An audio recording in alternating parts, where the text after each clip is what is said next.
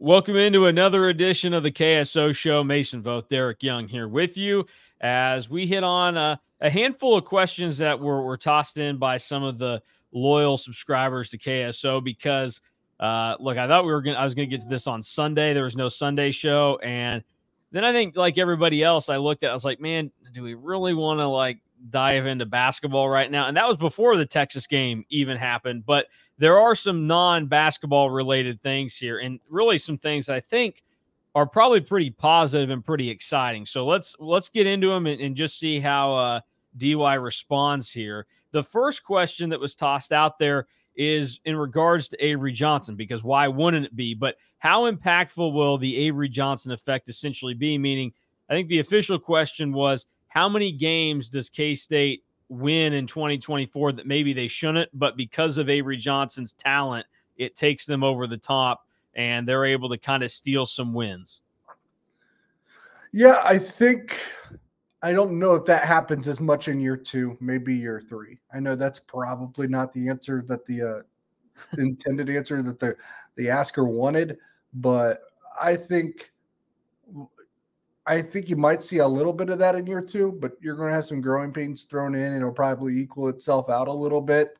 Um, you're kind of breaking in a little bit of a new offensive line, and so to speak. Uh, the defensive depth might not necessarily be there just yet. You know, a lot of games on the schedule are winnable. Avery Johnson does have that in factor. Uh, I don't know if it really pops at a significant level in 24 but especially more so in 2025. I think that's kind of where I fall is the schedule next year doesn't necessarily lend itself to hey this this game you know you're going to need something special for him like you need Avery Johnson to be special next season for K-State but like we talked about when we broke down the schedule and any other time we've talked about it it's a pretty nice schedule for K-State like some tricky road games maybe the the way it breaks down but you only have a handful of games where you might have real concern. The others, K State would likely be a significant favorite in. So uh, it'll be interesting to kind of see moving forward how that plays out. But I I think that there will be a couple of games where you know things are tough, but Avery Johnson is going to make a wow play. He's going to do it more, no doubt, in 2025. But when you have that kind of talent, you'll get those flashes at various points, and I think you'll get them some in 2024, but certainly not to the level of which you know you're getting it constantly and and just how special he could be by the time he gets a full year under his belt. Kind of in the same vein as everything in terms of the impact of Avery Johnson and kind of thinking of X factors for this football team next season. Which transfer are you most excited to see hit the field in 2024 for K State? Because they kind of got uh, uh, guys from different levels uh, all throughout the board, and that can mean a couple things: either the level that they came from playing from, or the position level that they're at on the field. I think the obvious one for a lot of people would be Dante Cephas, but after you know Keagan Johnson was pretty slow to start last year, you may be a little bit shaky on wide receiver transfers. So uh, I'll just I'll let you dive into which one you're most excited for. Yeah, that's interesting. Uh, you could go really any of the four ways. I've spoken to all four transfers now after immediate availability. Dante Cephas is pretty important in terms of how you're going to make this passing game pretty dynamic uh, and helping Avery Johnson along, maybe being, you know, you got to have playmakers, and he's certainly someone that can be that from from what we saw at his time at Kent State. If you could translate that to Manhattan a little bit better than he did Happy Valley. Travis Bates is someone with a really, really high ceiling. Uh, really started to take off at a lower level, obviously, and uh, was wanted by you know several Power Five programs some, you know, the among the best in college football. And talking to him, it's just like that guy just was like a ball of energy. Um, really happy with where he's at. A guy is where his feet are. It's gonna, you know, you've you've heard that saying before, but he couldn't be more grateful. And he was just, you know, I'll do anything, you know, ask me. It just looked like this guy was just going to be an energizer bunny on the defensive line for K State. Um, and so I really liked what I heard. Easton Kilty, uh, we just spoke about having to, so to speak, rebuild that offensive line to an extent. You do have some guys coming back, but Easton Kilty will be a pretty important piece for that. Uh, does he start at left tackle? Is he is he might be the guy you know protecting Avery Johnson's blind side? That's a pretty significant job uh, for the next year. And then, to be honest, one of the best interviews I had because this guy's just you could tell that he is a grown man, an adult that knows what he's doing. Um, nothing's going to be too big for him, um, and probably knows exactly how to work and how much needs to be put in and how much you got to dedicate yourself to be successful at this next level. And that was the safety Jordan Riley. I, I couldn't have been more impressed from him talking to him in that interview. Uh, very large human being for safety as well. So, you know, it's hard to pick one, to be quite honest, because I was thoroughly impressed with all four. Quite frankly, I'm probably more torn between Easton Kilty just because of what his job is going to be in the position that he plays, and Jordan Riley just because you know after speaking to him, like um, maybe the safety group's going to be just fine without Kobe Savage. I think I think Easton Kilty is probably the most important of the four transfers, just because there there seems to be good talent there. He was a four star in the transfer portal. And you, like you said, you need him. Like this is a, a, a fairly new offensive line breaking in. He's got experience. He's got talent. He's going to be in charge of protecting Avery Johnson. But I think the guy that probably history would suggest he is going to be the most exciting and the most impactful.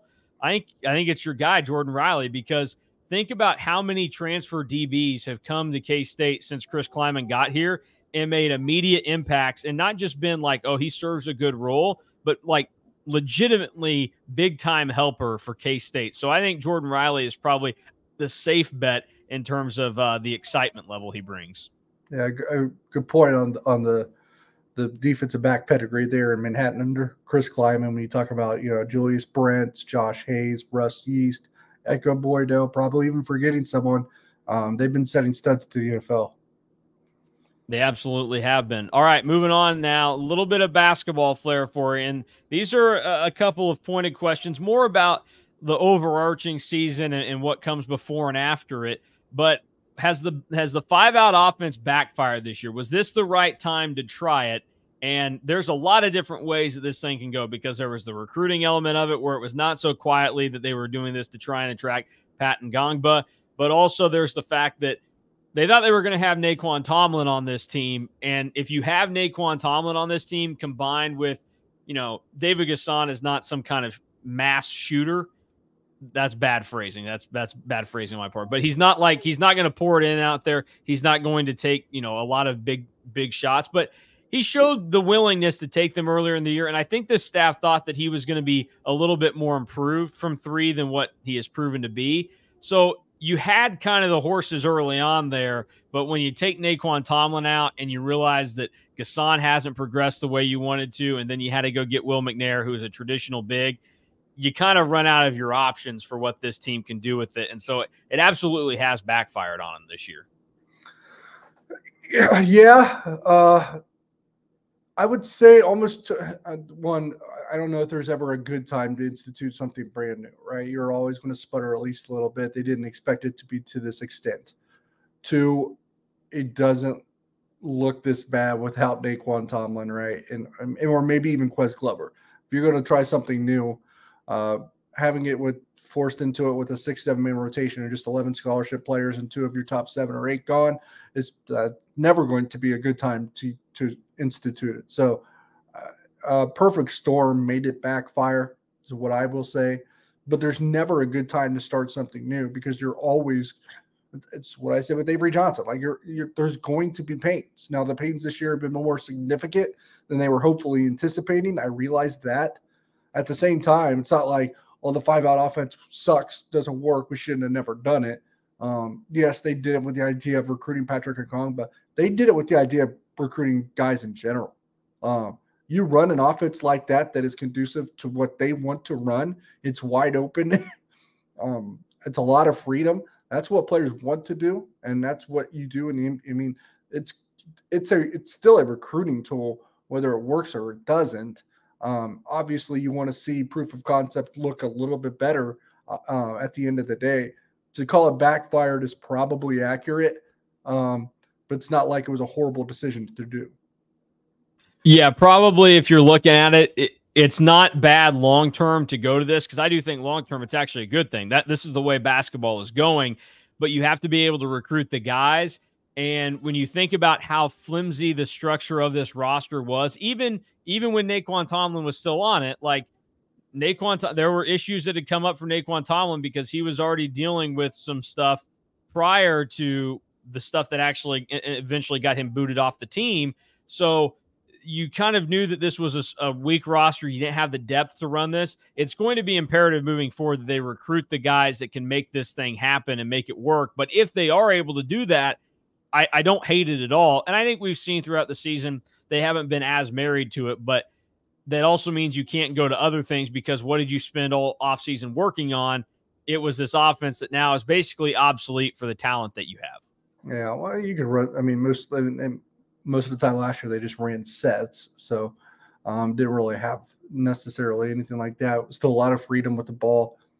I, I would just say I, and I'll I'll be generic because I don't want to like specifically like just trash any one or two players, but it's a personnel problem more than a system problem. Like, yeah, did a five out offense backfire? Technically, everything backfired, right? You're five and eight in the league, uh, but at the end of the day, I, I think it's less of the system and more of who you have on the floor. Um, sometimes you're not good enough. Sometimes, sometimes it doesn't work. Sometimes it doesn't shake out. Sometimes you get it wrong. I mean, Miami, what they've done year in year out under Jim Larrañaga, an Elite Eight, a Final Four, it's not taking this year for some reason, and they're not good. Arkansas, Elite Eight after Elite Eight after Eric Musselman. He's considered a recruiting savant. For some reason, it's not taking this year for Arkansas, and they're terrible. Mizzou had to really splash of a first season under Dennis Gates, right? Kind of like the Jerome Tang thing, um, but not near the results. This year, they can't win an SEC game. Um, they can't even win a conference game. Sometimes it doesn't take. Sometimes things are out of your control. For some reason, it doesn't work. For those teams, it's probably that they didn't recruit good fits or um, there's something going on in the locker room. Uh, you, you, there, you could be one of a number of things. It could be that for Kansas State too, but for Kansas State, it's really well. You you're down two guys that you thought were going to help you, so you're playing with only 11 scholarship players anyway, right? Um, so it it doesn't look great. It could look better, but it's more players than system. Um, yeah, give me a different system that you think would work with this. I mean, like there's not like that's why I come back to. It's like I don't think it's a system. I think it's who you got because I don't know if there's a good one. Like there's not an offense you're going to pick right now. It's like we could even if you got one month to institute it, incorporate it, build it in, there you're this team's not going to all of a sudden become successful. It's it's the guys on the floor got to get better. And if they don't, they already hit their ceiling, then this is what it is, and you got to restart next year. Yeah, that's a good point. I mean, it, it, it it's it's absolutely true, and I, I think Jerome Tang's system overall. I think the fact that this team has already won as many games as they've had and played as well as they have, and I know that sounds weird considering how things have gone, but I think it's a testament to him and his system. Uh, moving on, this is kind of similar to the five out and ties into it.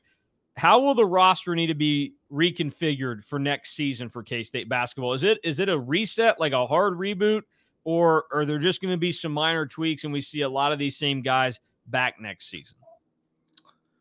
Something in between. I, I think you have to bring some back because you see some of these teams, and I know Kansas State had to do it, and they did it to great success last year. But Jerome Tang was a culture guy. Boom. You you have to have someone there says this is how things are supposed to work. This is what we're supposed to do. If you don't have those examples, then you, you do have to restart and you do can run into some issues. Like if Kansas State didn't have Markquis Nowell or Keyontae Johnson, two All Americans, two NBA players, then last year's hard reset is a little bit more, much more difficult than what it looked to be. So at the end of the day, it's about having dudes. Last year you had dudes, this year you didn't. But if they didn't have dudes last year, that hard reset would have been troubling, probably. You've seen a lot of these teams. Like Arkansas had a hard reset this year, maybe why it's a little bit of a troubling situation that they're in right now. I think you have to do it a little bit of a mix. I think you got to have some retention, and that's why player development still is a thing. And then you have to have the NIL to retention to retain them, right? And then you have to go out and get a high school guy here or there in each class, and and then go do the transfer portal to try to get some, you know, firepower, experience, whatever it may be. Now, here's the thing you're going to, it's uh, minor tweaks is probably not going to be an option because I'm trying to think here guys that are definitely uh, not coming back, right? Tylor Perry for sure gone. He doesn't have eligibility left. Uh, is Will McNair, Will McNair. out Will of it? McNair. I think. Um, yeah. So there's so, two, and Nae'Qwan Tomlin's spot that they never filled. So that's yeah. that's at least three transfers that you have to do but you are bringing in David Castillo, so then you're back down to two. Yeah, you, but then you have to think about okay, Qu- Ques Glover could maybe get a medical hardship. I think, I think they want... would like. I think they they would like that just because okay. it's a ball handler. It's a, yeah. guy that's got. Uh, but I, I, don't think Arthur Kaluma is coming back. So, um, in a way, you're going to be forced into going to the portal at least three times, probably four or five. Yeah, yeah. I honestly, based on how the numbers work out and just okay, we assume that these guys are probably gone, then you know you're probably hoping that it's five because the, there are guys and like I, I won't name them because everybody knows, but like there are guys wasting spots on this roster, so it would it, you'd ideally hope K State has five spots they have to fill this season. Now, like perfect world, you don't have that many spots you have to fill, but that comes with time and building a program and and true depth and consistency. K State just isn't there yet. It, I think it will happen but it's tough early on with with you know coaching changes and, and trying to get things molded the way you want them. Moving on to another basketball topic, but we go to the other locker room inside of Bramlage. Women's basketball was in the middle of a fantastic season. They shot up to number two in the rankings, but then Ayoka Lee got hurt. They were able to do well without her for a little bit. They got the big win at home against KU. They were able to go on the road and beat Baylor, come from behind in that game. That was impressive, but it feels like it started to catch up to them. She tried to come back against Iowa State, then got hurt again, and then missed the game uh, over the weekend. So, did Ayoka Lee's injury disrupt the flow of the women's basketball season? And is it going to be possible for them to kind of capture what they had early on and get back to being a team that was playing like one of the best teams in the country? Uh, yeah, I mean, it could be, but I mean, unless you thought they were going undefeated, 18 or oh, no, then I mean something was going to catch up to them. So I'm just a little conflicted on that. Yeah, I I, think it, it, There's no doubt that it did disrupt the season in some way because you lose your best player, who in the game of women's basketball is is near unstoppable. I mean, you you have to have on the other side if you're facing Ayoka Lee, you have to have somebody that matches her in size and then also in some to some extent st- skill and that's really tough for teams to do and i think when you miss that they did they did well enough early on there but it takes a lot out of a team like what k-state had to do to go win on the road without ayoka lee against a solid baylor team that takes a lot and then you think about the games that they have lost this year they, they've all been tight. They lost at Oklahoma. It was a close, tight, competitive game. They lost at Iowa State. That thing was tight and competitive. The Texas game on the road is really the only one that got away from them, but even that they battled in. So it's not like they've been so far off of it. But I think people look and you see that, you know, in the in the women's basketball standings in the Big 12 now, Oklahoma was keeping such a steady lead. Now K State is back within a game of that. K State, West Virginia, and Texas are just all a game back. OU still has to play Texas, and they still have to go on the road to KU, who is actually playing better now. I saw KU's back onto the bubble there. So OU might get that lost. And now it just comes back to if K State is able to kind of regain how they played, whether they have Ayoka Lee or not, the Big 12 title is still in reach for them. But I think there's no doubt that it did disrupt the season, but I think it's for different reasons. I don't think they just threw their hands up like, oh, well, we're shot. We're not going to be able to do this thing now. I think they just have to do so much because, like the men's basketball team, they they lose a key guy now. I mean, it's it's really tough sledding for them to try and, and win a game. But they lost Nae'Qwan Tomlin, who they thought they were going to have, and he hadn't even played this year. But his spot on the roster and what he can do talent wise definitely disrupts what they wanted to do. They have to play differently. Now you're asking more out of everybody else. I think it's the same thing for the women's basketball team. Yeah, I agree. Big one, right? Uh, Wednesday night, tonight, if you're listening to this now, uh, is Wednesday, and yeah. against West Virginia, where you're in a three-way tie with, I believe, with mm-hmm. West Virginia and Texas. You lose. It's kind of like an elimination game of sorts. Yeah, pretty much because you, you look after this. I mean, K State they, they have to go at KU, then Iowa State at home at Texas Tech. So not the easiest, but also not the hardest uh, stretch left in the league. And KU, a team that's starting to figure it out a little bit. They were they had higher expectations before the season, basically face planted right out of the gate. Um, starting to figure it out. They could they could play spoiler here because they play K State and I think they play Oklahoma, Oklahoma. as well. Yeah. yeah. So we'll see how that goes. Uh, all right. Last one, K State related for you. We shift to another sport, K State baseball. They took it on the chin last night uh, at Arizona State after having a chance, leading at various points in the game. But, you know, as always in college baseball, pitching is atrocious. That was the case last night for them. So K State two and two to start their season after being preseason top 25. Is this a do or die season for Pete Hughes as the K State baseball coach? Because the last couple of years, they've gotten hot late. They've been just outside getting into the NCAA tournament. If they don't do it this year, uh, is it time to, to move on from Pete Hughes? Yeah, that's a good question. Uh, what I will say is like doing what you did the last few years, considering the schedule in front of them, might actually get you in. So, uh, I, it's not time to panic just yet. Uh, pitching failed them a little bit in Tempe, obviously. So did, you know, being walked four times in an inning, three times, and only scoring a run as well. So the title hitting wasn't there.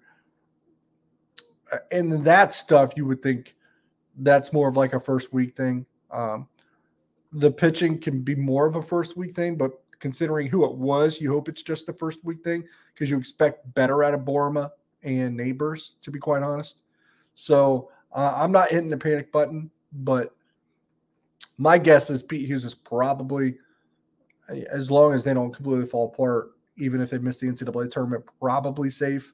I understand the question because narrowly missing it that many times in a row is, uh, you know, you you can make an argument that you're not growing, but uh, and not playing significant baseball. And and I understand wanting a certain standard, but at Kansas at Kansas State, when you're you're kind of in a spot when it comes to your non-revenue sports where you're a little hamstrung financially, having a guy with the ceiling as Pete Hughes, um, and being able to afford him and, and not being concerned that he's going anywhere, I still think is a bit of a luxury. Yeah, that's what I was going to say. Look, it, there's no doubt that it's frustrating, and K State does a lot of things that you, you, you, tear your hair out and you say, you got to be better in this. You got to be better at making decisions and knowing how to play the game. But at the end of the day, K State, eh, they've played baseball for over 100 years at K State. There haven't been all that many great seasons. They've made the NCAA tournament just four times. The, the ceiling for what a team in the Midwest, especially in K State's position, can be it's not very high. And uh, while it would be nice for K State to be in, and I think that they could get there, and I think that should be the expectation and goal. And I think the season at this point should be viewed as a failure if they don't get in this year. It's not a reason to move on from Pete Hughes because what Pete Hughes has done since getting to K State, you know, he took over that first year after Brad Hill, they were under 500. He hasn't been below 500 since then. He's had them on the cusp of it that's asking a lot. That, that's a lot for K State baseball relative to what they've done in the past, and not. He's also bringing in legitimate talent now to this team. Like, yeah, that, he had a first round pick in Jordan Wicks. He's got you know possibly two more with Culpepper and Neighbors. Like, he's got talent coming to Manhattan. It's just it takes a long time to acquire the status of which you need to get quality depth of pitching in college baseball because it's so hard to find. And until K State gets that, they're going to play this game of bubble, maybe not. Like it's going to take a while, but he's getting them there. Yeah. I know it's frustrating because relatively to what they have talent wise, at least or maybe last year, the year they, they had Wicks this year, it's like, well, that that probably should be enough to make the NCAA tournament. You know, they have some high end guys, but it is a depth issue at times too. So you got to yep. remember that. Uh, but that's the fact is, is like you have a coach that is at least capable of recruiting or developing talent, you know, every almost every season with high draft picks. even if you don't have a good enough bottom of your roster to kind of get over the top, or or you just or they're underachieving, you make the the case. Uh, you make you know you decide what it is. But having a coach capable of that, I think is still a luxury for Kansas State. Yeah, and if you go and look at, at like how this thing has worked out for for the Big 12 and how they send teams to the the NCAA tournament last year, it was Texas Tech, TCU, Oklahoma, Texas, Oklahoma State, West Virginia, all in much different geographical setups than K State. I mean, Oklahoma is somewhat similar, but even they get a little bit of a benefit there. Plus, they're closer to like you know Dallas and and Texas in general, so that helps. And you look around, like there's a reason why Iowa State and Colorado don't have baseball. It's because it just isn't feasible or make any sense for their situation weather wise and financially for the types of schools that they are. So K State even being in this position where baseball is not even like just a rollover team that teams face at this point. I think that's a step in the right direction. It's no doubt frustrating. There are certainly things in game that I think Pete Hughes should be criticized for, but overall, as for what he's done for the K State baseball program, it's positive. And until it starts taking a serious downturn, I think you give him the opportunity to keep riding it out and keep improving this thing brick by brick, even though it may be frustrating, especially as more people pay attention to it as basketball struggles this year at K State. Uh, we'll finish this off with one more uh, baseball related question, but not K State related. Uh, this was thrown in there, probably more targeted at me uh, since I'm a, a, very, a very vocal man about the Royals. But what are the thoughts on the Royals' move to downtown? Uh, look, you've been to Kauffman Stadium before, DY. You like when the Reds come to town, and now every other year they'll be coming to Kansas City with the new scheduling setup. Uh, what are your thoughts on the Royals moving downtown? Do you like the move or not like the move? Uh, they were going to move no matter what. So uh, obviously, you knew they were going to stay in Truman. So I think, you know, it's probably the best of what the options were because I don't think Missouri was going to let them get to Kansas, even though that might have been an ideal spot, putting them over in the Legends. But Move to Wichita or you have the you have the uh, you know the politics of switching states and the tax revenue going where you know what I mean. So uh, I like that they basically ditched whatever was it the first three four downtown options. It was yeah. horrible. Um, this one, say what you will. If you don't like a downtown stadium or want the stadium downtown for whatever reason, um, and I know there is reasons, I get it. But at least they picked the best of the the, the downtown spots that were floated out there because the first few that were floated were terrible. Um, this one, you know, it alleviates a little bit of the parking issue, at least puts it in a part where you would consider uh, a little bit more vibrant as well, um, around more stuff that you're familiar with. Maybe too soon, but in a safer part of the Kansas City area as well. I, you know, obviously, what just happened, but that's an exception, an outlier, I think.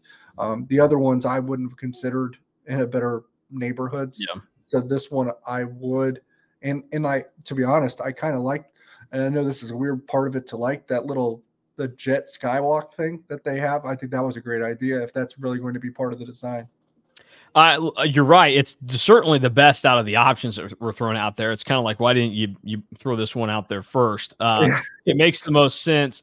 I like I I'm, i have nostalgia for Kauffman Stadium. I think it's great, but I, am not opposed to them getting a new stadium, and certainly not against downtown. Like I think you you look at teams that have have done this. They've got awesome stadiums, and I think it's a good setup for the city, and people rave about it that have those setups my question and concern for this has always been as somebody that obviously comes from you know three hours away to go to to Royals games and how like this setup works. Uh, like you have to have the infrastructure for it. I've been to Kansas City for Big 12 tournaments or even just one off K State games. And it does seem like, you know, at times it, it can be a little difficult to, to find parking and it can get a little congested down there. So I have concerns about that. And all these other ones that I've been to that have you know, downtown or in, you know, tight neighborhood stadiums, the public transportation in that city has been good. I mean, you, both Chicago's, it's pretty easy to get to. Minnesota, same type of deal. Like it's very easy to get to because their public transportation takes you right up into left field. Kansas City, you can tell me, oh, look at the little streetcar. I don't care. That thing is a piece of crap that you can fart around on, whatever. I think you are going to have to maybe hope that things are a little bit better there. But ultimately, I can deal with it. I'm. They're not going to do this move if there isn't options for people. I just want there to be better options. But overall, it's a good move.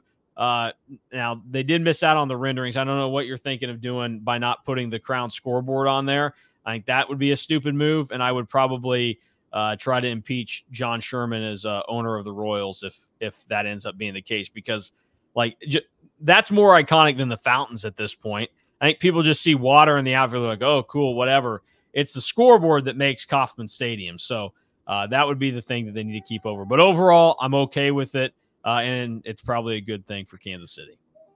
And they're, I, I saw that they'll probably buy up some of the areas around it and put up their own stuff. You maybe one of those, two of those is a a garage of some kind, you would think. But the, the good thing about what I would say the good thing about having the being on the streetcar path would be that you could technically park anywhere along the streetcar path then. Yeah, we'll see uh, how it ends up lo- looking, and I, am sure it'll be fine. But it's it's a long ways away, so I'll worry about it when uh, I get to the point where I'm actually driving. I'm like, where the heck do I park? I'm 30 minutes away, and I don't even know what I'm going to do. Doesn't matter right now, though. I'll uh, enjoy Kauffman Stadium. All right, that'll do it for us. For Derek Young, I'm Mason Voth. Thanks for watching and listening to K State Online. For more coverage of the Cats, head over to On3. Go find K State Online and uh, plenty of good stuff where they're about K State football, basketball recruiting news throughout the week. And uh, be sure to stay locked in right here to the K State Online YouTube and podcast platforms. So we are out of here. We'll talk to you again tomorrow.